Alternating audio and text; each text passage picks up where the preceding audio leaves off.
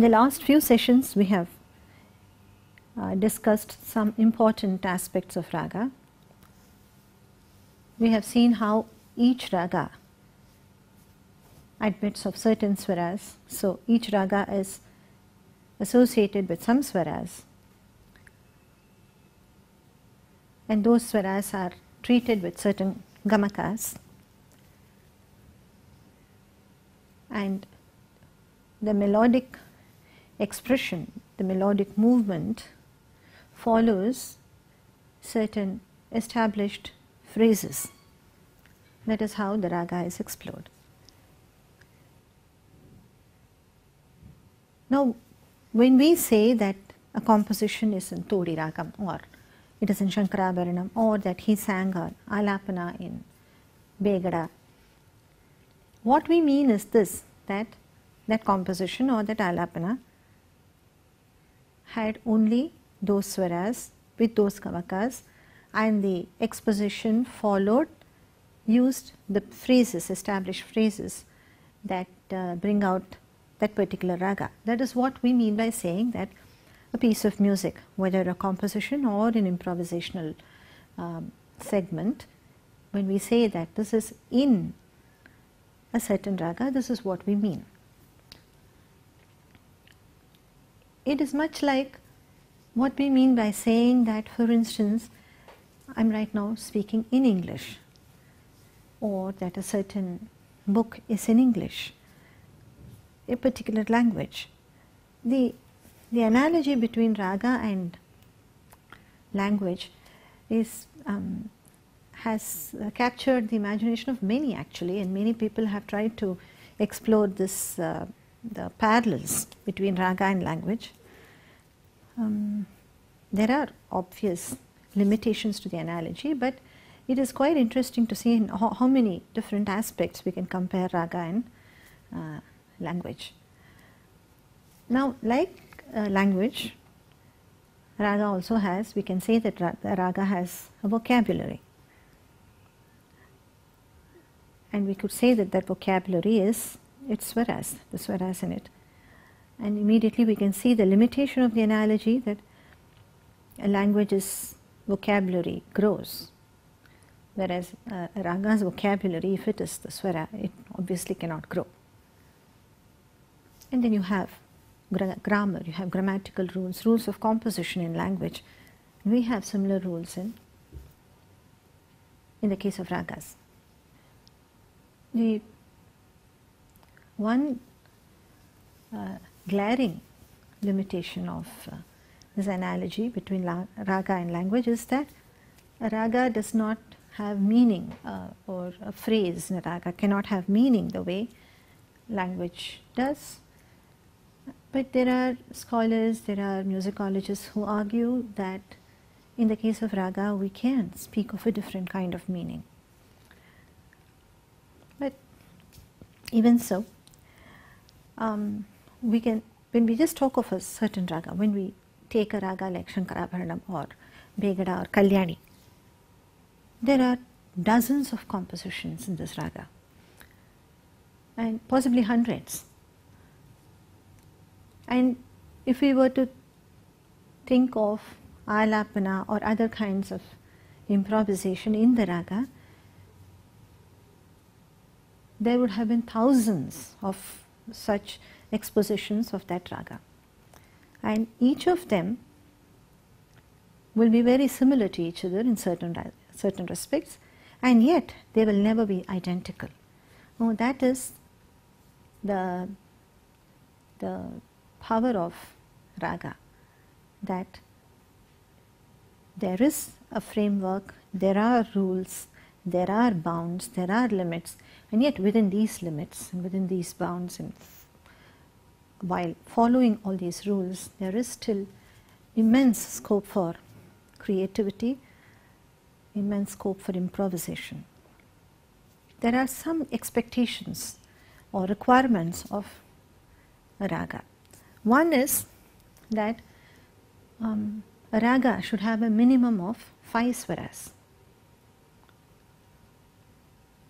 Less than five swaras uh, will probably, you know, we can quite imagine that the scope of uh, a raga with less fewer than five swaras, the scope would be pretty limited.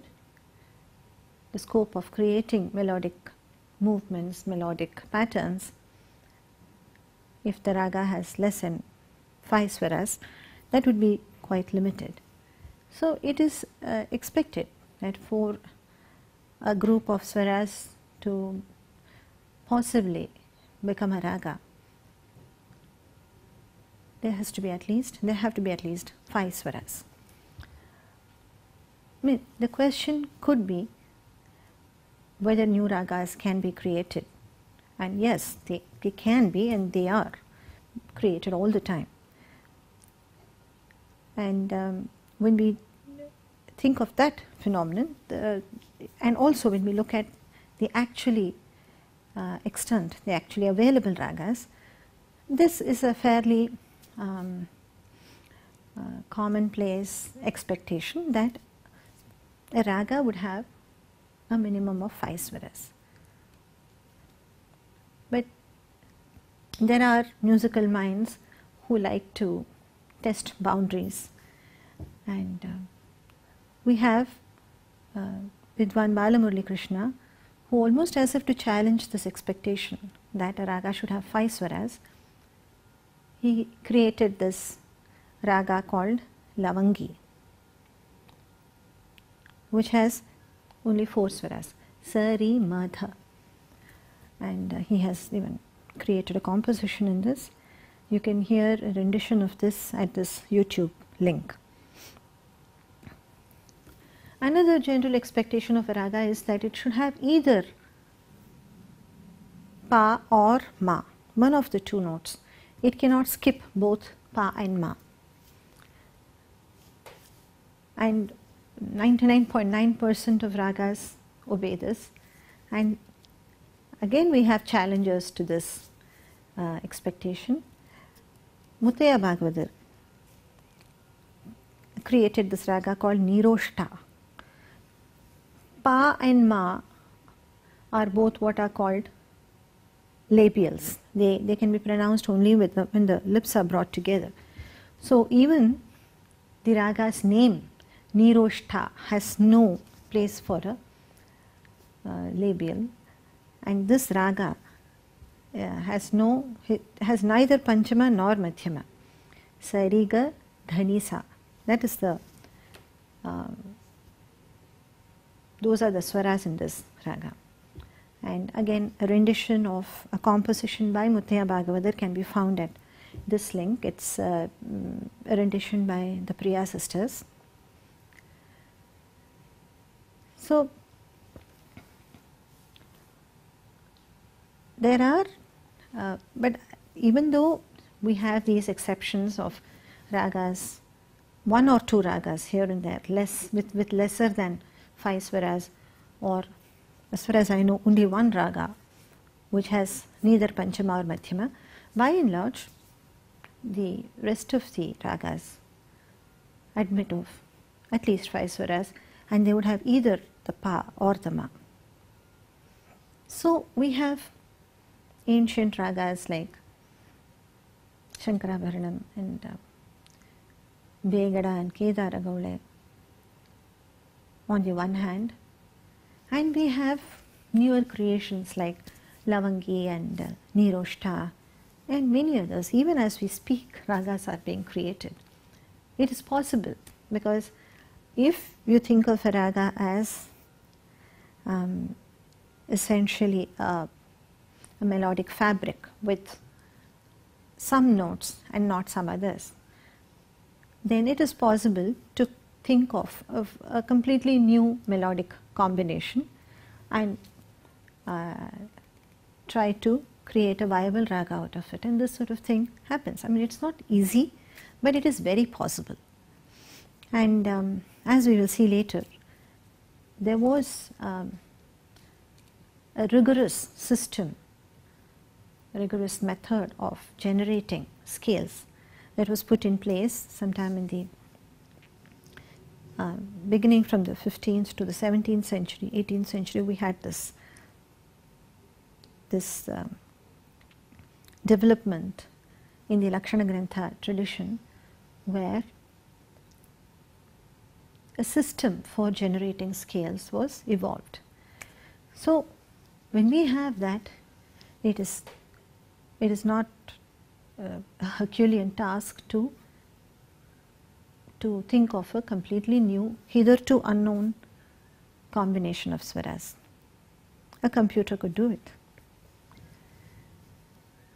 But what then is the difference between um, what do we make of this music, of this tradition, Carnatic music, which on the one hand has ancient ragas and on the other hand has ragas that are being created ever anew. Is there a difference between a raga like Shankarabharanam and a raga like Niroshta or even a raga like um, Sunada Vinodini which is also complete, it's just a combination of swaras and um, it was uh, handled by music by composers like um, Mysore Vasudevachar.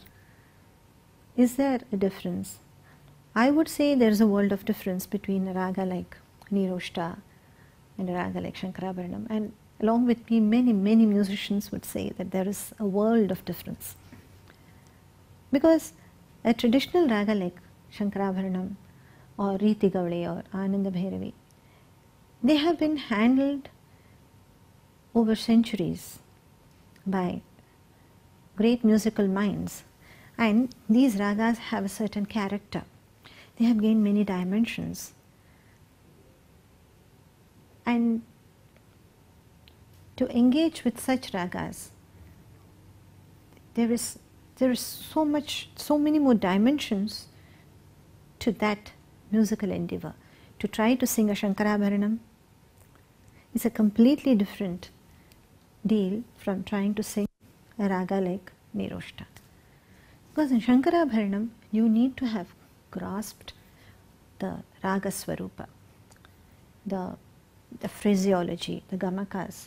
You need to have absorbed all the musical effort that has gone into this raga over these decades, over centuries. Whereas with raga like Niroshta, it is just a combination of swaras and it's up to you to work uh, patterns out of this set of swaras.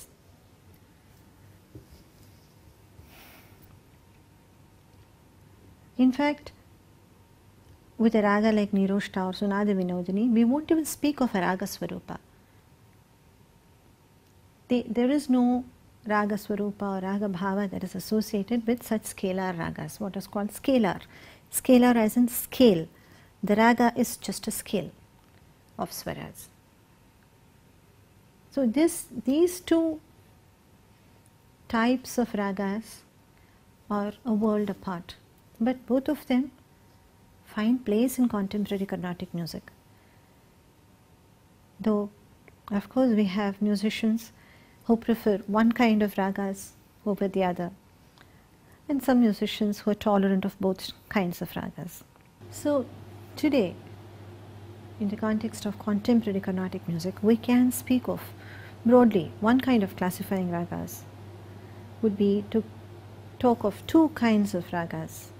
One is uh, ragas like Shankarabharanam or Kedaragaule or Surutti with a long history of evolution and the other would be ragas which are newfangled, new creations, which are nothing more than a combination of swaras and there is nothing more about their personality or form.